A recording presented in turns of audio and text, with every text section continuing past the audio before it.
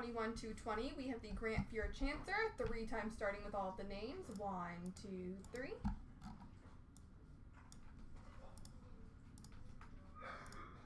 One, two, three.